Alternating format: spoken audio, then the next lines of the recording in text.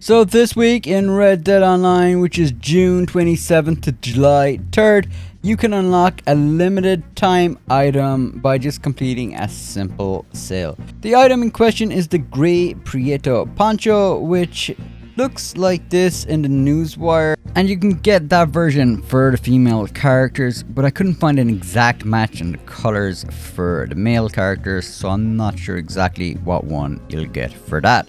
There was originally a lot of different versions released, but it is just one variant that you can unlock this week. To do this, it's pretty easy. Just complete either a trader or a moonshiner sale. It makes more sense to do moonshine sale because they're paying double cash and XP for the entire month and are a lot faster just to build up and do.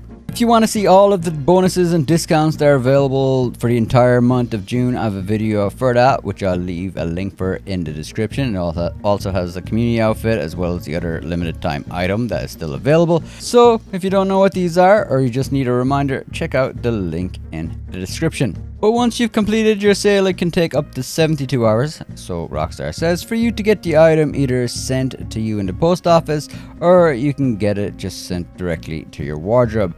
If you don't get it after 72 hours, you can always contact the Rockstar support. I've left a link in the description for that as well as a little put together message. You can just copy and paste and send that off to them to get the ball moving and hopefully they'll be able to just give it to your account.